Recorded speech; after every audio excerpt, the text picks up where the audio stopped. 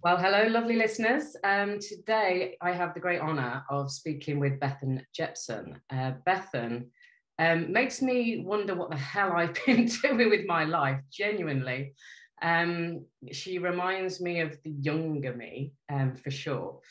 And um, she's an award winning entrepreneur, mentor, and she has her own podcast as well. And she's launched and grown multiple six figure companies in the past five years, from legal recruitment to coaching services to health products. And now she's in engineering. I'm intrigued to know how on earth she's done all of that. Um, she's also a partner in UK Business Capital Partners, where they acquire, partner, or invest in businesses. And it's about helping them to fulfill their growth potential or give them give the original founders sorry the resources to thrive step back or move on you know um, so there is loads more i could say um, there really is um, oh and a podcast is called millionaire secrets excuse me and uh, which i'm quite intrigued to listen to as well so there's loads more i can say but bethan can say it herself so over to you bethan welcome welcome i'm so pleased to have you here and um, yeah, hello. Hello, thank you so much for having me. It's uh, yeah, it's always nice to be asked to do these things. So yeah, I'm hopefully I can share some wisdom and yeah, yeah we'll see what happens. Bethan is from uh, sunny Manchester, although it's not sunny today, and um, which is you know she's in the in England the same as me, and um, yeah, I mean Bethan really, I, I love to have conversations with people to understand what, how they got to where they've got to.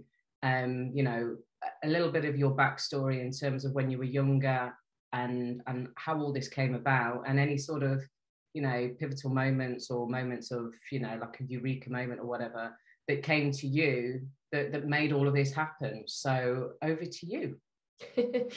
um, well, I think the name of your podcast is really interesting to me, like the never settle kind of element of it. Yeah.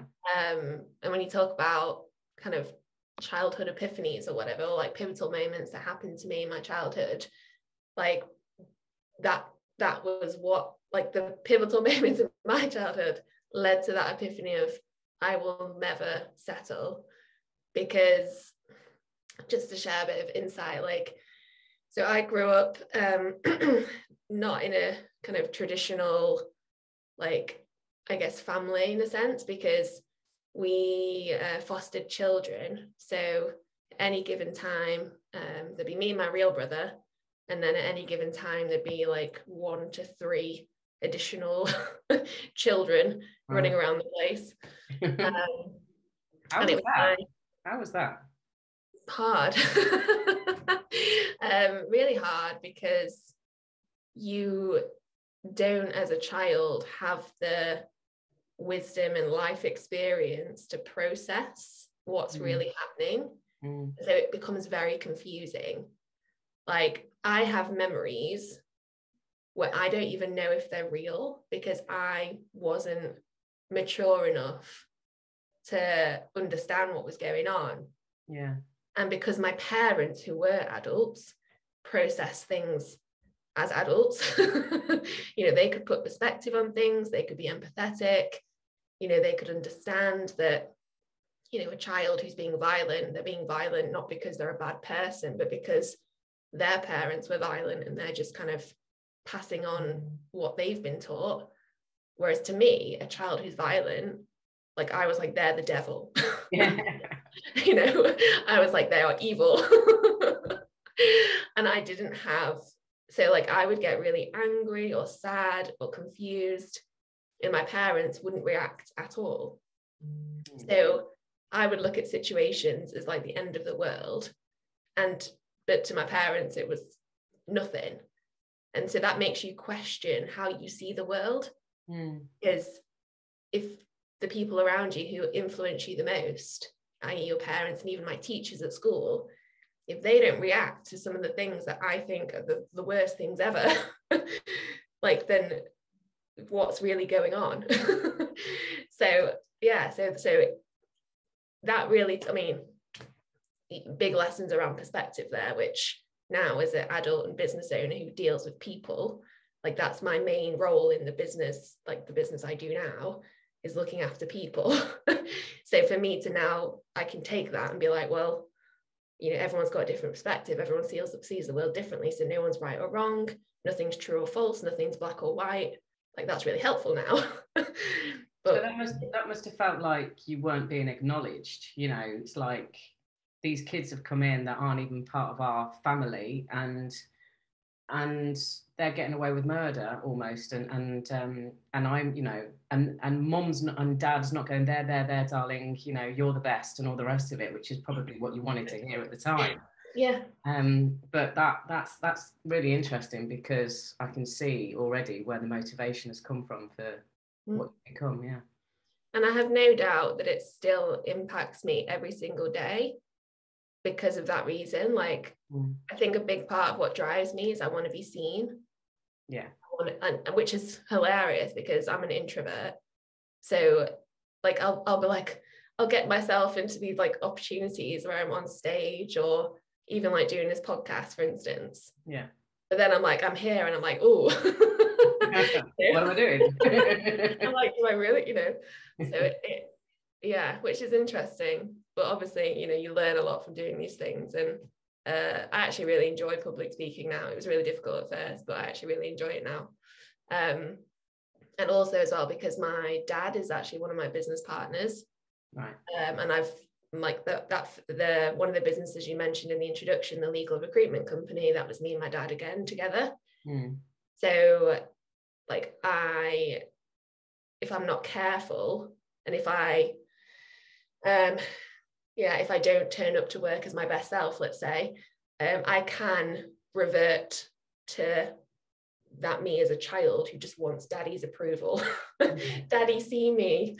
Um, which is challenging because as a especially in some of the situations I now get myself into where I'm speaking to investors or I'm speaking to the owner of a business and I'm saying, you know, I want to buy your business, I want to take your business, like I want to, you know, preserve your legacy, but then, you know, take it to the next level. Like I have to be my most adult version of myself to feel good and feel confident to do those things. So it can be challenging if I've not turned up in the right mindset. And especially if my dad's in that meeting with me, yeah. I can quite easily be like, oh, I'll let daddy do all the talking. you know, I'm the child and dad's dad's the adult. So, you know, I'm, I'm being really vulnerable here, but that is actually the truth of like yeah, how it yeah. all uh, how it all impacts me. But um thank you so much for that.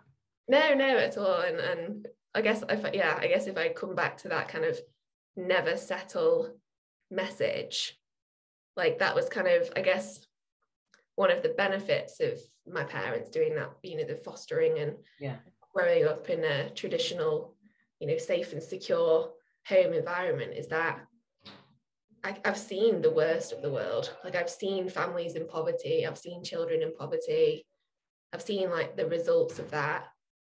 And i've also seen the results of like people who are well paid and kind of wealthy because that's what we were. You know my dad was a lawyer at the time and you you do actually get well paid if you're a foster carer yeah. especially doing the type of foster caring that we did because it we, ours were like the kind of special circumstances that no one else would mm-hmm. no one else would take basically.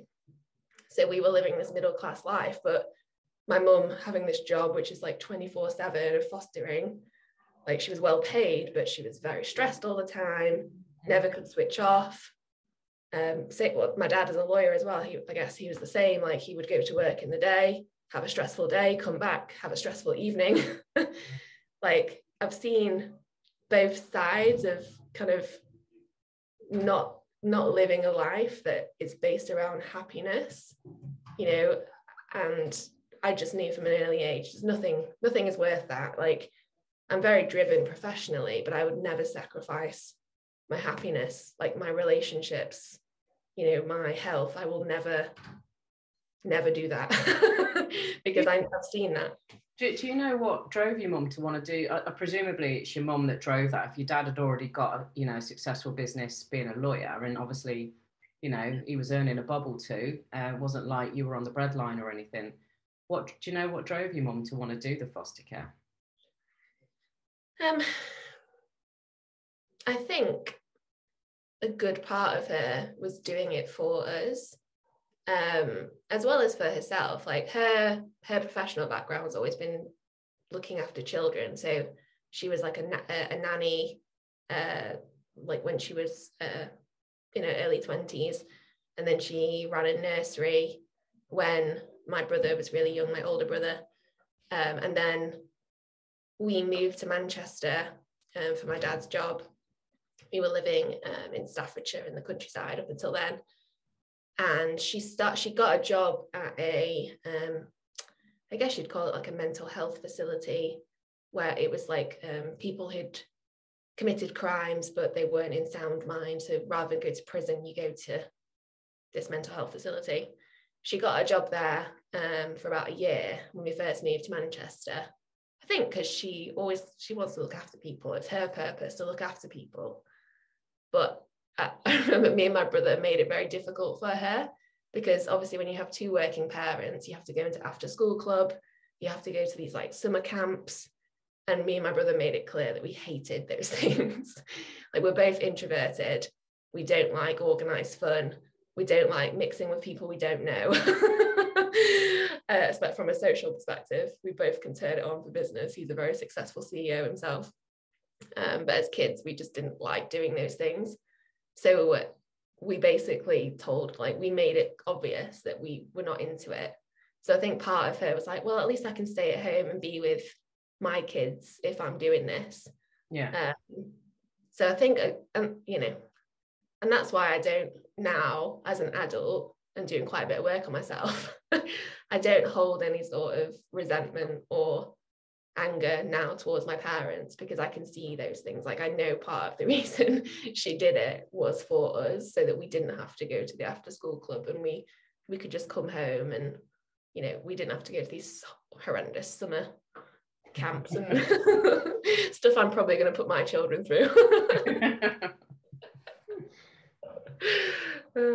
oh well well she sounds she sounds amazing actually you know. She's, she's definitely she's amazing but she doesn't know it at all. She's like she totally undersells herself and totally undervalues what she's capable of.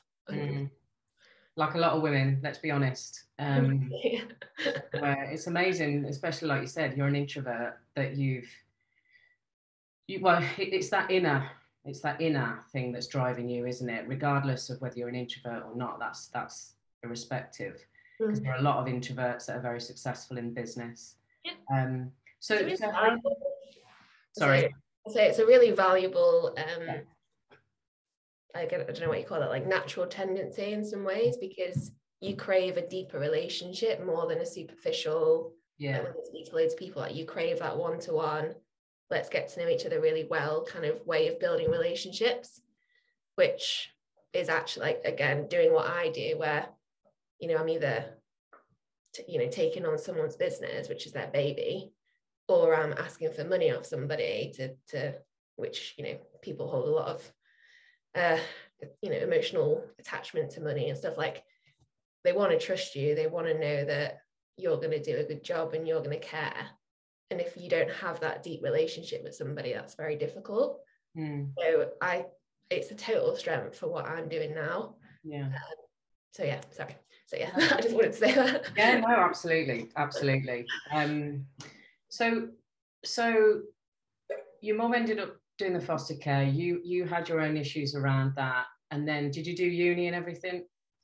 Yeah. So um, again, yeah, one of my ways of I guess coping and fulfilling that part of myself to be seen rather than feeling invisible all the time um, was that I did very, very well academically and I pushed myself like you know very very far as far as I could probably take that to be honest um even if I was bad at something I would work my like I'd work my ass off to at least get a good grade in it like you know I'd figure out what boxes I needed to tick mm. in order to to pass or not just pass but get an A in a in a subject that wasn't like I wasn't naturally good at so um, I spent a lot of time studying, revising.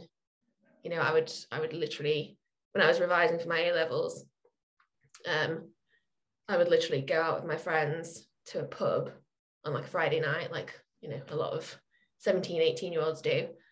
And I would have one drink while all my friends were getting drunk. and then I would go home and I would at midnight and I would open up the books again and I would study till two, three in the morning. really? Like I was driven. And then, yeah, so I went on to a really good university and then I did a master's as well, another good university. Um, so yeah, did did the whole academic thing. okay. So how did you? So was the first business you got into with your dad? Was it the legal recruitment one? Yeah, um, and that was a total accident. Um, so I actually studied environmental science. I was really passionate about the environment. I still am very passionate about the environment, and I wanted to be a, a conservation scientist or a pollution scientist or something. I don't know something along those lines. Um, but because I hadn't when I left university, I think because I'd suppressed a lot of the emotions and memories from my childhood. Uh, it kind of all kind of exploded when I got out of university and I lost that structure, I lost that focus. Because I think when you're going through something terrible, you you know, I became very good at compartmentalizing and putting my focus on something I knew I could thrive in to just, I don't know, to just cope, I suppose. So then when I lost that structure of university and that thing to focus on, it all just like yeah i literally had this like personal explosion of like just yeah things that i didn't even things that i couldn't even remember before like memories were coming back to me right. and like emotions and anger and like frustration and like a deep sadness um just came just came over me when i left university I was probably depressed. Like if I'd have gone to a doctor, I'm sure they would have told me that I was depressed. Um, so I couldn't really function from like a getting a job perspective. like, you know, I filled in a few job applications, but couldn't cope with the rejection at all. Like it broke every time, you know, you'd get that email that's like, oh, you, ha- you haven't, you haven't made it or whatever. It every time it would break me and I would have to pick myself back up suppress everything again and then and go again and i think after like eight eight nine ten rejections which is very normal when you're a graduate. Yeah. Um i couldn't do it anymore. So my dad you know he had his own business by this point and he said come and just come and do it you know an admin job uh, you can file some stuff you can make the tea whilst you um figure out what you want to do. Um because my parents kind of put their little I don't know, like a denial hat on and was like, oh, she's fine. She just needs mm-hmm. time. She just needs, you know, they obviously didn't want to feel like they'd caused me to be, you know, to be this depressed individual. but, you know, in reality, that's what a traumatic childhood leads to. Um, so yeah, so I kind of went into his business with no expectations of progressing, no expectations of being there very long, just to make a little bit of money and pass the time, basically. Mm. Um, but when I got in there, I found that the same thing that drove me in like terms of my passion for the environment from like a problem solving perspective, like, you know, oh, there's all this global warming and that, you know, pollution problems, like, you know, this the the not just the scientist in me, but like the passionate individual in me that cares about solving big problems like that that individual is actually very powerful in a business like the problem solver role is game changing for a business. The person that has the courage and the audacity to take on big problems like it, yeah it, it as it turns out it can change everything. So pretty much from day one, I would start noticing things around the office, like things that I thought could be done better, or things that I thought like people hadn't thought about, or I don't know, I just started finding problems and then coming up with solutions. Started off with small things like, you know, filing things more efficiently and um, you know, I would notice um, when people called up, you know, because uh, it was legal recruitment. So you know, there were people in the business that would call up lawyers and be like, oh, I've got this job, like I've got this potential job. What do you think about it? Blah, blah, blah, blah. and I, you know, I would hear these conversations and I would, I guess I would make suggestions on like language tweaks and things they could maybe say that might get them, you know, I just felt like they weren't treating these people as human beings. And well, if you said this, they might feel a bit more like you care about them. And like, and I would just start making these suggestions and bit by bit, they made a big difference, let's say. Um, so yeah, so I kind of just worked my way up. I, you know, I went from being like, think I was admin assistant with my first job title, and then I think and then I moved into like marketing manager, not because I had any experience with marketing, but just because it felt like common sense to me to use certain language and um, you know, I, I enjoyed creating things. I could create a flyer or a graphic or something that, you know, looked appealing. I don't know. I just had a natural tendency for that. And I even paid for myself to do some marketing training. I never asked the business to like pay for anything for me. I always kind of took that on myself as like, this is my development, so I'm going to do that. So moved into marketing.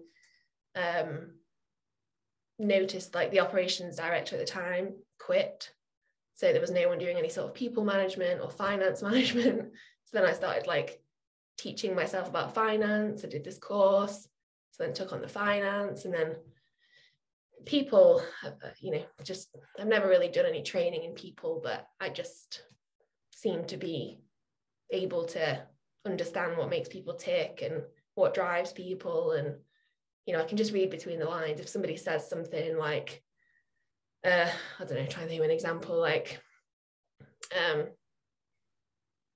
I don't know if someone's like, oh, I'm, you know, I'm not, I don't really want to do this job, or I don't, you know, I don't feel like it's in my role to do this job. Like, you know, I can, I can see, I can kind of see where resistance is coming from, and then I can kind of speak to that person and find something that personally motivates them or something that personally benefits them that then means that they're willing to go above and beyond. And I don't know, I've just always had this thing of reading between the lines with that.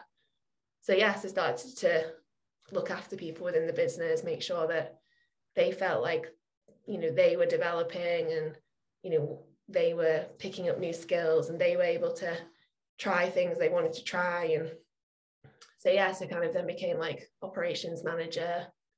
Um, and then I think once I'd started networking and really getting to know the market. And I'd even, I accidentally like made a few sales, even though I wasn't a salesperson.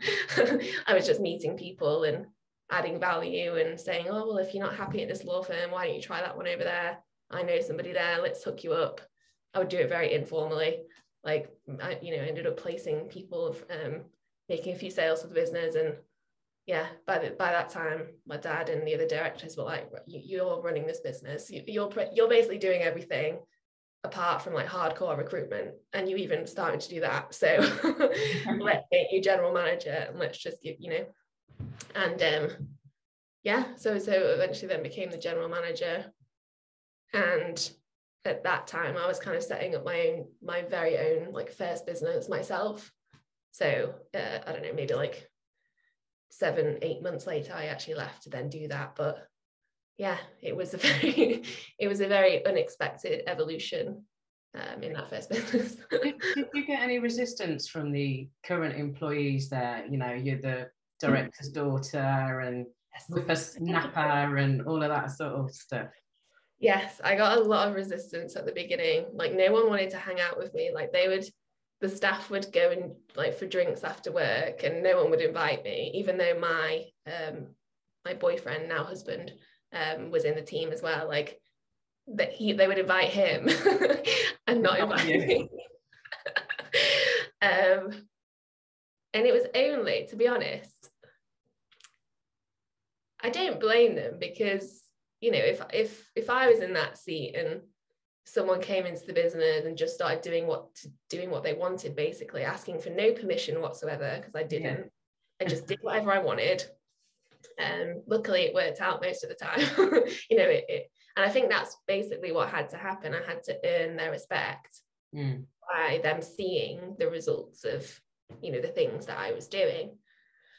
Um and then as i was kind of getting promoted especially when i became the general manager and i was kind of recruiting for our business um, you know, I was bringing in people then that you know, best will in the world. They already saw me then in that role. So it wasn't, you know, so by the end of it, there was only like, I don't know, it was a it was a small business. Like we had like 12, I think at most we had 14 people, but um, at the time when I was kind of coming through, it was like 12 people. Um, so there's it by the end of, I don't know, the two or three years that I was there, um, there was only like four or five people that had been there from the very beginning of seeing me kind of come through. And luckily I'd managed to earn their respect by that point. But yeah, it definitely wasn't easy at the beginning. And I felt like I was, my dad didn't give me any help whatsoever, let me add. Like he never was like, oh, well, let, let Bethan speak and let's let's hear what she has to say. Like, no, I would always have to interrupt like whatever conversation was happening to put my two cents in there because no one was going to ask me like literally yeah because no one's going to ask me. So i had to do it that way. So uh, yeah it was tough at the beginning and i did feel like it, it's it's not nice when you don't feel like you have a voice.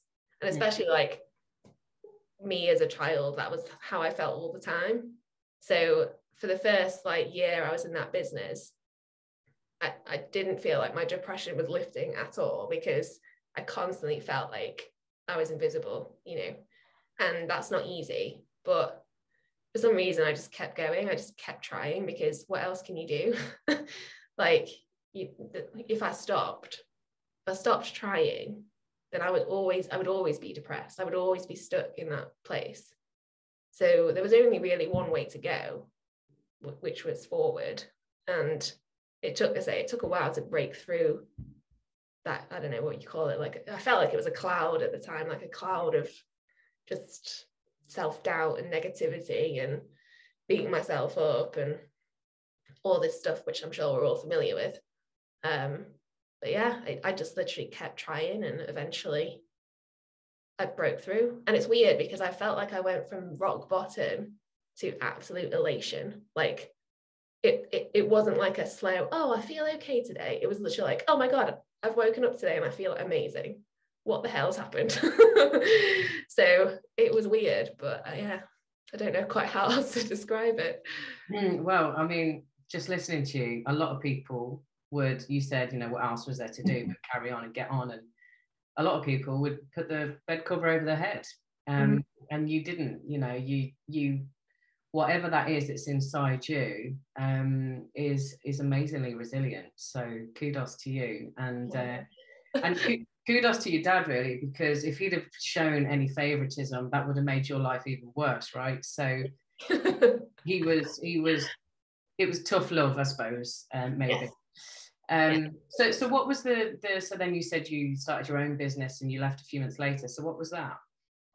So um, it was actually a business that came about through networking with the lawyers um, that I was meeting for the legal recruitment business. So um, I'd go to these like, like professional services networking events. You'd have a lot of lawyers, but then you'd also have a lot of other professionals from like, I don't know, like property, accounting, marketing, you know, corporate Manchester, basically. um, and this was around the time when the gender pay gap regulation got announced. So, you know, companies that had over 200 employees had to report, you know, exactly what they were paying their men and women in the same roles. So there was a, you know, was a lot of hoo-ha around, oh my God, I've just found out my colleague who is male is getting paid for, you know, 10 grand more than me or 20 grand more than me, or, you know, there was a lot of um, there was a lot of frustration, and anger, and kind of just like disempowered conversation around like, you know, I've worked hard. Yes, I've gone away and had children, but I've come back. It's been really hard to come back. And, you know, now I'm five years behind my colleague who I was with, you know, blah, blah. You know, there was a lot of hopelessness and like, I've just got to accept this. This is terrible. This, this makes me feel like crap, but I've just got to accept this. And you know, and I just, I think again, it was the problem solver within me. I just looked around and was like, well, I don't think we have to accept this. I don't think as women we have to accept that, you know, we are treated as less than somebody who's not gone away and had children or somebody that's doesn't always have to be about the children. There's other things that happen in life, obviously, like bereavements and um, just changing career direction. So I don't know, maybe you're an accountant for 10 years and then you're like, oh, I don't like this. Actually, I'm going to become a marketing person or whatever. Um, you know, the, there's all sorts of things that happen in life. But um, I just felt like if you're somebody that's not had that perfect life of, okay, so I went, you know, I graduated from university, got a job as a lawyer straight away and just worked my way up. And now I'm a partner at 30. And oh my God, life's amazing. Um, which, you know, not, that happens like 1% of the time. And that person usually doesn't end up thinking, oh my God, life's amazing. they usually end up thinking, oh my God, how did I get here? This sucks. Yeah. Um, and yeah, and I just felt like, especially when it came to career, like we should feel like we have more power than, you know, than what was kind of be like the general feel at the time was like I have no power in terms of my career. And I just didn't think that that was a way to live um, again it comes back to that never settling i think mindset. Um, so i just wanted i didn't know how i was going to solve the problem at all. I just wanted people to feel like they have people to talk to they have a place to go to mastermind and brainstorm and like oh you know oh i've got a pay review coming up like how do i how do i pitch my you know pay pay rise pitch? Um I just wanted people to feel like they could have a place to go where they could improve their skills, find out what other people are doing, like, you know, what did you say? How did, you know, how did you give that feedback or blah, blah, blah. Um, and so I created a, a, a, network, I called it an empowerment network um, called High Flying Women. And it basically, it, it, it, all it did was I would hold an event once a month and I would just bring together women from all different uh, kind of professional sectors. And we would have conversations around certain topics that you know is, isn't really it doesn't feel safe to talk about them in the workplace. So things like you know how do i manage conflicts with my manager? Or how do i ask for a pay rise? Or how do i develop my confidence? Like how do i how do i um, position myself as a leader for this promotion that i want to get? And just these kind of, I guess, career based questions. Um, but after about, well, let's be honest, it was after like one event, I realized that you can't just talk about your career in isolation. Like, you can't just have your head down and focus on career and think that everything's going to be dandy. Because, like I said before, like life happens and we all have personal lives. and part of the problem um, with the professional sector at the time. And I think actually most businesses that from what I'm seeing now is that people don't feel like they can be human beings at work. They don't feel like they can be themselves. They don't feel like they can be honest about certain things. Um, and that, you know, everyone's trying to keep up appearances and the, the, there would be this thing in um, especially law firm culture where if you weren't the last one to leave at night, then you would be looked down on as being not committed or not as good a lawyer as somebody else. But then if everybody else is trying not to be the last one to leave, then you all end up sat there until like 7 p.m. or 8 p.m. or 9 p.m. or 10 p.m. Um, and and no one wants to be there. And no one's happy about being there. Um, but you're all just sat there like, well, if I leave first, then I'm gonna look like the worst person ever. So um, yeah so so it kind of evolved quite quickly over time to be uh, to be more of like a personal development um, kind of space and and you know how do we build that confidence and courage to actually be ourselves and therefore be our best selves and actually be of more value to the business? Um, and and people just did some amazing things. Like i wasn't making any money out of this business by the way. I say it was a business. It was a platform to my other businesses actually. Where, um, where, where did you find these women? Were you was it from very proactive. I linkedin was amazing at the time. And actually it was much better for me then than it is now actually because the algorithm was great. So you could i would literally advertise an event once on linkedin and it would sell out because the algorithm was very generous and it would put it out to all my connections and stuff. Like nowadays it's kind of gone down the road of most social media in that you only reach a certain percentage of your followers and you know blah blah blah. But um yeah i would literally like i would do a mixture of proactive approach. So in the beginning um i invited everybody personally. I sent everybody an email personalized email it wasn't like a copy and paste thing um yeah and and to the first event uh I invited, I don't know, like 30 people. Um, actually, it was more than that, it was about 40 people, expecting that, as most events, there's a drop off, like, you know, usually you get a 50% drop off. But at that first event, everybody came, like the 40 people who registered, 40 people turned up, which I was not prepared for, did not have enough seats. Um, but yeah, and, and so it was kind of a mixture of like proactive approach of like, I see you, I see what you're doing. I think you're doing amazing things, and I'd love to invite you to this community where we're all helping each other become amazing and happier and healthier and more fulfilled and all that good stuff. Um, and then yeah, and then I would advertise just on social, like just on LinkedIn. Really, that was the only mm-hmm. social media I was using. And yeah, and we, I say, I made some amazing relationships that I still, you know, I still speak to today and you know it's lovely to see like some of the women who came have had massive career changes like they've really gone for things that you know from a, like this is this, this is going to make me happy rather than this is going to this is what my parents want me to do or this mm. is what society wants me to do like you know it's more like this is what makes me happy and you know i just love that like even to this day people are still reaping the rewards of that network even though i haven't ran an event since now since 2019 so yeah it, it, it was great to do um, and it led to my it led to my coaching business um, because some it's funny like when you i always i always say to my um, coaching clients now if you want to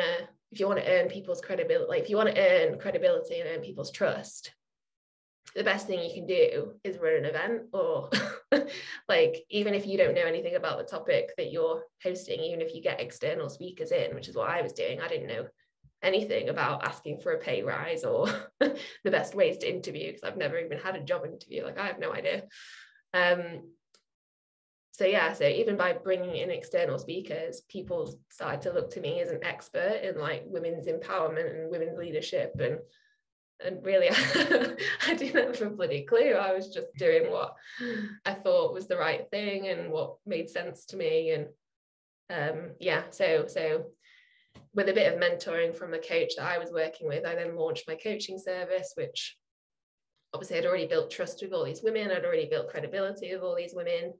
And so I, you know, I had pretty much a full coaching service from day one.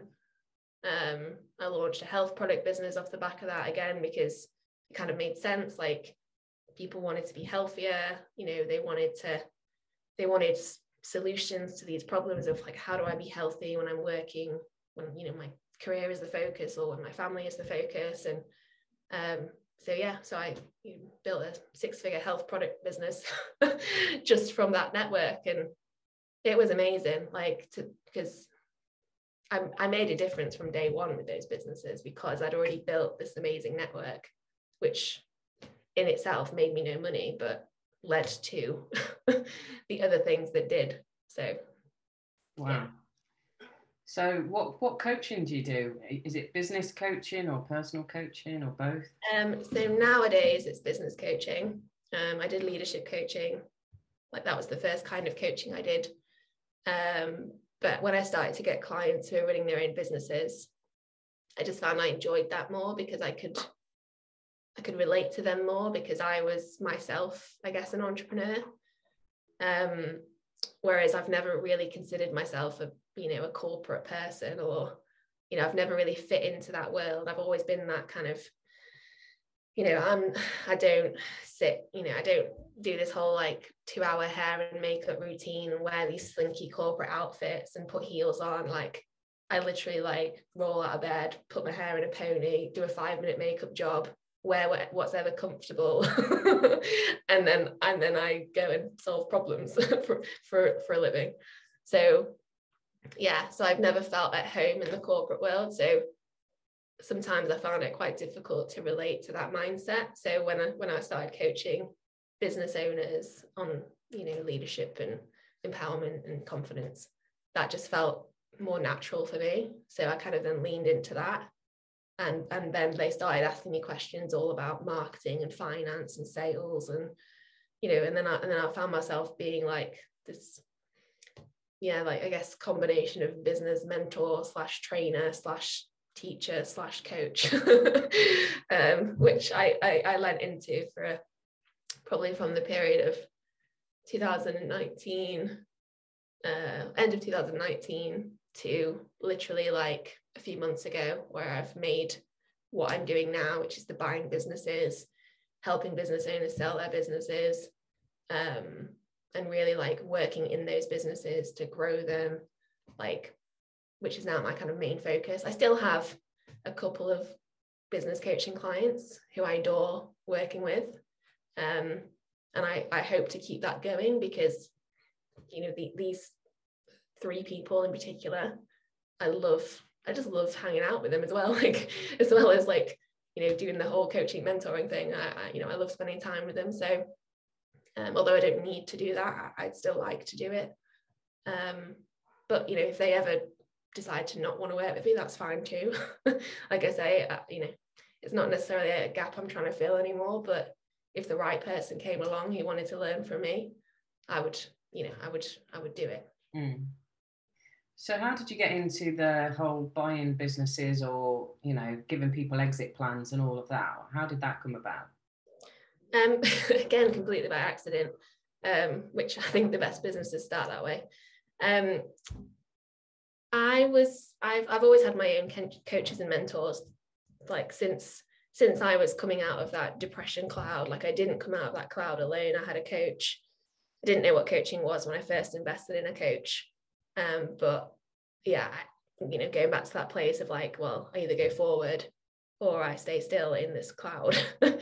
um, and I just chose to go forward. So um, yeah, so I've always had coaches and mentors. And in 2018, I started working with a business coach slash mentor um, who I still uh, I still work with t- to this day actually. Um, and I was I met up with them in Barcelona, um, as you did pre-COVID, um, and we had this kind of intensive couple of days together. Um, and they kind of travel with their own little business entourage. And I was actually having a conversation with someone in in the team of my business coach, and we were just doing a bit of masterminding and just kind of chatting about life and business. And they're they're a lot they're kind of a lot older than me. They're in like their fifties, um, and they've done a lot of things as an entrepreneur themselves. And he literally just said to me, "Do you know what you'd be great at? Buying businesses." and I was like, "What do you mean? I've never even heard of this concept. Like, what do you mean?" And he kind of explained it to me. Um, and it, you know, and he said it would make sense. Like you're you're nurturing these businesses, you're helping these businesses grow, but a lot of kind of entrepreneurs um, and founders don't want to do that specific business forever. Sometimes they just want to build it to a certain point and then get out. Um, other times, there are business owners that have had their businesses their whole lives, but they want to retire. Um, so, what are they going to do with their business then? And I was like, oh, yeah, I hadn't really thought about it like that. Like, what do those people do? Um, and yeah, and he just kind of explained how it could potentially just be my next evolution. Uh, I didn't really think much about it. I was like, that'd be cool. Like, definitely a definitely a direction to head in, but no idea how to get there. So I'm just gonna let it sit in the universe and just be like, I'll just keep thinking about it every now and again. Um, meanwhile, my dad had like carried on with his legal recruitment business while I was off gallivanting, doing coaching and health product businesses and networking and things. Um, but he was getting to the point of being quite unhappy in that business um, because he didn't really know where it was going. You know, it kind of stopped growing. Um, you know, he'd he'd recovered from the 2008 recession, and that had taken a lot out of him. Um, and you know, and he just kind of ran out of energy with it. So completely independently, without talking to each other, my dad then got um, some coaching from a guy who was buying businesses, um, and that was his main income. And he was kind of like teaching my dad about the like the nitty gritty, like okay, so what do you need to look for in their finances? Like what kind of contracts do you need? Blah blah, blah like the actual nitty gritty of it. Um, my dad was kind of getting some training on all, all of that. I had no idea. I don't know why he didn't tell me. Um, I'd never told him that somebody had said I'd be good at buying businesses. We'd never had this conversation, but both independently had kind of sort of ended up there. um, so actually, when the pandemic actually was before, uh, it was before the pandemic. I think my dad started on this journey like mid 2019. Um, but when the pandemic hit, and he was like, I don't have the I don't have the energy to take the legal recruitment business through this again. I've done one recession. I don't want to do this anymore. Um, so he actually sold his shares in that business to his his uh, the direct the one remaining director that was there, um, and he just started looking for a business to buy. Um, meanwhile, I was struggling with the realities of you know the pandemic impacting my coaching business my coaching clients and i was you know trying to keep my head above water with all of that changing everything i was doing to suit the, the you know pandemic times and going through like quite a stressful and uh, time consuming uh, you know re uh, like yeah restructuring everything yeah, yeah. restructuring yeah um and I was just kind of watching him like go through this process of looking for a business, and then he found a business, um, and he kind of started, you know, he was going through the process of acquiring this business. Um, I just found myself being way more interested in what he was doing than what I was doing, and I would literally like every time I speak to him, which is roughly, I mean, I'm very close with my parents now, so I'd see them at least once a week, and um, you know, I'd, I'd be like, so what's going on? Like, tell me what's, you know, what's, what, where are you up to? What's the latest?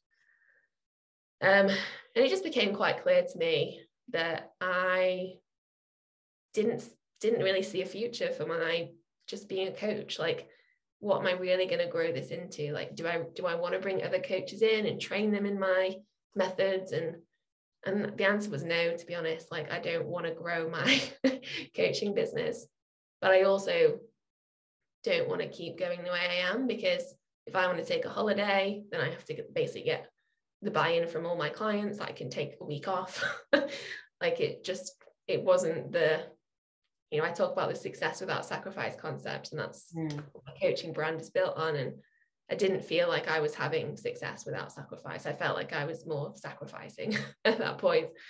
Um, so yeah, so I just sat my dad down and was like, "Do you want a business partner?" And he was like, Yes, please. Because he was, uh, yeah, we, we both are good at different things. Yeah. So, you know, by that point, you know, his his weaknesses were starting to impact and he knew that I was strong at the areas that he was weak in. So, you know, it made sense to him straight away to bring me in. So yeah, so that was um when was that? That was literally back end of 2020. Um, so I've been doing it now for a good year. And this is the engineering business. Yeah. So we, yeah, we it, again focusing on engineering was kind of an accident. It just so happened that the first business that he acquired was an engineering business. Um, acquiring a business that has physical assets is really good from a financial point of view because you can raise money easier against a physical asset because you're the best one in the world if you failed then at least the person who's lending you that money has that physical physical asset to sell and make get that money back. Mm-hmm. um, so it's quite easy to raise money against an engineering manufacturing business. Um, and and my dad my dad's hilarious. He's this type of person that gets really obsessed with something like so he's been obsessed with like baking he's been obsessed with cycling he's been obsessed with um like walking and now he's like in this place where he's obsessed with engineering, which is hilarious because he's not an engineer by background. Um, but yeah, so he's kind of he's just loving learning about the industry. I am too because I'm a scientist. You know, I'm I, I you know my my early education and well my whole education is based around science, so it kind of fulfills that part of me that I've not been able to really lean into. Um, it has a massive impact on the environment, and there's actually environmental engineering businesses out there, which one of which we're currently trying to acquire. So it's very exciting for me to yeah to lean into that. Um, we've built an amazing team um, in within our kind of business buying company, um, who I love love working with, and I really missed that team environment when I was kind of a solopreneur. Mm. Um, so I just yeah, I'm just really enjoying it. It's it's not easy. it's not without its challenges. It's uh, definitely not stress free, but it's exciting and I feel like I can see the future with this. Like as a you know as a coach, I, I was like I couldn't see where this was going, but now I can see how it's going to grow and how it's going to become something really significant, how it can make an impact. Like, you know, those things are very clear now. So it just feels easy to feel motivated, like to be motivated, like to wake up and be like, oh, you know, today I'm doing this and that's so exciting. Like, can't wait to get to work. so yeah. Wow, amazing. And it must be really cool to work with your dad, especially now you've got to a point in your life where you know you you appreciate what they did and, and all of that. Yeah. Um, he sounds like a cool dude as well. He is. He's a like he's honestly like one of my best friends like i love spending time with him on a social level as well as like business level and um it's just nice like to have someone that knows you so well as well because again you don't have to like really convince like we'd have to convince each other of anything it's like mm. if he comes to me with an idea about finance i know he's so good with numbers that i 100% trust him Mm. So I mm. don't have to like worry about it or ask him any questions about it. Like I'm just like, okay, great, you do that. You know, meanwhile, if I come to him with an idea about marketing or people, he's like, I know you've got that. I know you know what you're doing. So yeah, just do it. like we don't, you know, it so it saves a lot of time yeah. just do what you're good at and no one questions it. sounds yeah, sounds like heaven. Um wow, I mean, yeah, like I said to you uh, before I hit record, what the what the fuck have I been doing with my life? You know, that's pretty much how it feels. Um, but you, you, just like you say, you've got this natural aptitude, and then and then, you know, I was really intrigued with that building the network of women. Um, and albeit, okay, the algorithm was much kinder to you back then, which it's not these days, but you've managed to maintain you know those relationships and and um and although it gave you nothing to begin with it's given you so much more ever since. And mm. that's, that's, massively inspirational and it's given me a lot of food for thought so i appreciate oh, that. thank you. Um so obviously you've got this engineering i also followed you on instagram this morning um before while, while i was reading up on you yeah. and um and and I saw the photo of you and your hubby, and there was a comment on there. You've been together half your life. You've been with him since fifteen. Is that right? Yeah. yeah, which is again why I think another reason why the never settle mentality was with me from such a young age because he's always been like he's always been everything to me. Like there's nothing in this world that's more important like to me than than he is he is my, like you know people say oh my other half and they say it quite casually but i literally feel like he is my other half like i i am i'm a better person because of him mm. like you know when i was when i was a child and didn't feel like i had anybody. Like i met him when i was like 12 13 and he was he was a friend first as no one's ready for a boyfriend when they're 12 um arguably i wasn't ready for a boyfriend when i was 15 either but um 14 um but he was he was always there for me. Like he was always the one consistent thing that i knew would never let me down. And i never had to pretend i was okay. I never had to like you know he's seen me he's the only one i felt who saw me like forever since I've known him. Um, and there's just nothing, you know, I hear business owners and entrepreneurs, especially really successful ones, talk about this whole thing of like, we've got one life, so we might as well, you know, do something really important, create these amazing businesses and blah, blah, blah, which I agree with. But I actually think like it applies even more to the relationships in our lives. Like we have one life. Like, why not? Why why waste that life not being with the people you love or like not I don't know, like it just seems to me that our relationships are the most important thing. And, and I will always put my relationship with my husband, my relationship with my family, my relationship with my friends, I'll always put them first than more than career, more than business, more than finance, more than anything, because they are everything, in my opinion.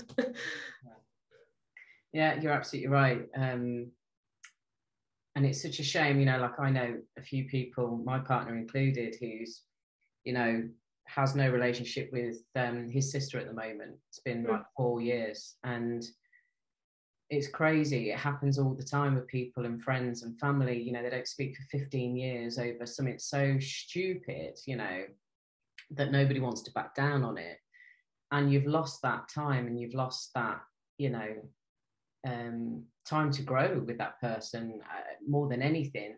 Mm. Um, and sometimes you can't have a relationship with those people. Sometimes, you know, you just can't gel for whatever reason. Yeah. But um, it's wonderful that you've got that outlook, especially, you know, at such a young age. And it's credit to your parents. You know, I know that as much as you know you had a hard time when you were younger it's it's created who you are today and absolutely yeah. yeah and so i'm sure you're grateful for that all the time um, i wouldn't change it it's made like you say it's made me who i am today and you know when i i got married in september uh 2021 yeah so just a few months ago. Oh congratulations. I didn't realize it was so yeah we've been together for like 14 years before we got married. Um, but like I gave a little wedding speech um, because that's who I am. Um, and um, when I was talking about my family, um, like I can like the character traits in myself, I can trace back to very specific either events or like things that happened or you know series events that happened in my childhood and I know exactly why I am the way I am. I know exactly where everything comes from. And and because of like because of that, there's no doubt in my mind that if I'd have had a happy, you know, normal childhood, I don't I don't know what I'd, I don't know who I'd be about. I know I wouldn't be me, who yeah. is you know who's done the things I've done and helped the people I've helped. And yeah, there's just nothing in me that would want to change anything at yeah. all. Perfect. Um, Bethan, how can people find you if they want to find out more about you? Um, where would they go? Um, so I'm I'm Bethan Jepson on every social media platform. um, although I say every, there's loads of them now. So I should say Instagram, Facebook, LinkedIn. They're the three that I kind of really use. Um, there aren't many Bethan Jepsons in the world, so I'm quite easy to find. Um, but my podcast as well, Millionaire Secrets, um, is a good one. Um, I'm interviewing millionaires and successful uh, business entrepreneurs on there, so it's quite a good one if if anyone listening is yeah. uh, inspiring entrepreneur or is an entrepreneur. Um, but yeah, i am happy to talk to anyone, or yeah, it'd be great to hear from people who've listened to this. So yeah, please do reach out to me, whoever's listening. Perfect. And um, any parting pearls of wisdom or anything that's coming up for you in terms of anyone that's listening right now that might be inspired by your story or feeling stuck or struggling or maybe they've got a business that they want to um, do something with any sort of pearls of wisdom um well, i guess i would say the two things that are really coming up for me are like if you are in that place of feeling stuck or even if you were like me when I left university and they feel like there's this cloud around you that you just can't seem to escape from. I think the first thing to do is make a conscious choice that you want to. Um, because, you know, although it can feel quite miserable being in that place, at least you're certain of what's going on. Like it can sometimes be scarier to think about uncertain things like life outside the cloud um, because then you've not got any excuses you've not got any anywhere to hide then if you step outside the cloud like you know you are people can see you then. And I've, I've certainly felt like that there's a bit of a risk in terms of stepping forward and stepping out of the cloud. So i think the first thing is just you know it was uh, i don't know if you know Steven Bartlett but he said something on an interview recently and when he was talking about his own journey and he said like he basically had a choice between certain misery or uncertainty. And you know for him he chose uncertainty because certain misery is worse yeah. and i think i did the same thing i think i was like well if i stay where i am it's a certain misery and although there's uncertain at least i know it's not certain misery um, so I think the first thing is maybe just make that decision like you don't want certain misery. Um, and whatever misery looks like, it might be a struggling business, it might be struggling family, struggling relationships, whatever it is for you. Um, and then I guess the second part to that is don't be afraid to ask for help. And also don't be afraid to pay for help. I know a lot of people have like financial blocks to getting help because you have to pay something for it. Um, but again it comes back to that question of like certain misery over uncertainty it's like would you rather lose money that you're ultimately going to make back or would you rather have certain misery um, so when i invested in my first life coach i didn't know i didn't know what i was investing in i just knew that yeah it was a step away from certain misery so it was worth it and it changed my life like this life coach changed my life. uh, it wasn't me alone that did all these things. She was she provided the foundation for me to do the things I've done. And I still keep in touch with her because and I still like anyone who like wants like wants a recommendation for a life coach, I always point them to her because she's amazing. She changed my life. Um, and it was worth every penny. so I just say don't be afraid to ask for help. And also don't be afraid to pay for help. It's worth it. It's always worth it. Yeah. Yeah couldn't agree with you more. Um well bethan it's been an absolute joy. It really has. Um i've been hanging on your every word. It's just you know it's like it's like this magical mystery tour isn't it of where where your life has gone. And um, and the the um the strength and the love that surrounds you from your family and, and friends and obviously husband now um is is very obvious. And um and it's very obvious of the the real desire for you just to want to help and to want to improve things you know and to be that solution. Um without any real agenda it's just something it's just it's just you isn't it? So um that's, um, that's a breath of fresh air. So I really appreciate your time today. Thank you so much. And I know the listeners will have loved this. Oh, Mel, thank you. Honestly, like even now, the inner child within me is like, oh my gosh, Mel sees me for who I really am. Like, and that means, it means a lot. It really does. Um, so yeah, I appreciate you so much for that. And thank you for having me on today. You're very welcome.